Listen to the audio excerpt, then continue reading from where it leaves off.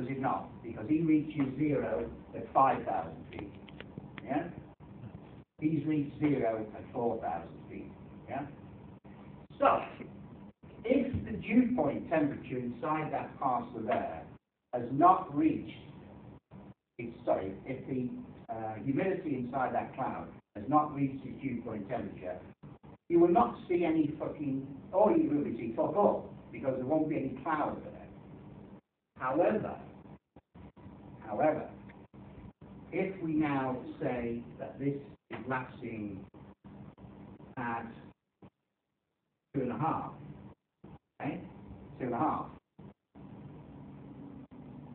thousand feet, okay, when he gets to four thousand feet, he's at zero, yeah, he's at zero, yeah.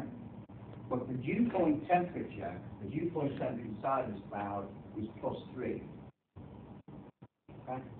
So when he reaches plus three, he will be uh,